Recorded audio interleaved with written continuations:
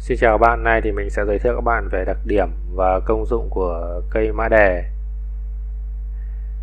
Cây mã đề có tên gọi khác như là sa tiền thảo, sa tiền tử, mã đề thảo. Cây bông mã đề là cây thân thảo, thân ngắn, thường mọc hoang ở nhiều nơi ở nước ta.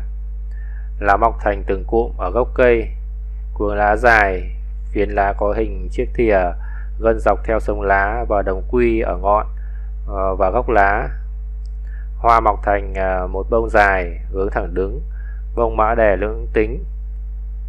Có bốn à, đài lá ở gốc hoa xếp chéo nhau và hơi dính ở gốc.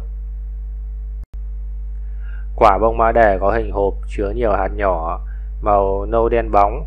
Mỗi quả của cây bông mã đề chứa khoảng 8 đến 20 hạt nhỏ. Bộ phận dùng để làm thuốc thì toàn bộ à, cây bông mã đề đều có thể sử dụng làm thuốc. Từ quả lá thân cho đến rễ. Cây bông mã đề được thu hái vào khoảng tháng 7 tháng 8 khi quả chín và lá phát triển à, tốt nhất. Sau khi thu hái thì mang cây mã đề đi rửa sạch, phơi khô hoặc sấy khô lại bỏ các tạp chất bụi bẩn. Nếu cần dùng lá thì có thể thu hái quanh năm, có thể dùng tươi hoặc à, khô đều được.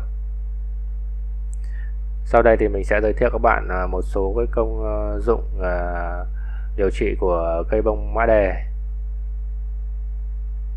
Để điều trị viêm đường tiết niệu tiểu dắt tiểu buốt à, các bạn à, dùng cây bông mã đề kim tiền thảo là cái gọi hay gọi là mắt trâu dễ gây cỏ chanh à, sắc nước uống. Để trị ho thì các bạn dùng 40g sắc thành à, nước uống mỗi ngày. Để trị sỏi bàng quang thì các bạn sử dụng bông mã đề ngư tinh thảo hay gọi là cây diếp cá. Ờ, kim tiền thảo mỗi loại 30g sắc thành ờ, thuốc uống. Mỗi ngày uống một thang, chia làm hai lần để uống. Uống liên tục trong ờ, vòng 5 ngày. Lưu ý là không sử dụng cây bông ba đề quá thường xuyên hay sử dụng với mục đích để giải khát. Do bông ba đề có tác dụng lợi tiểu rất tốt.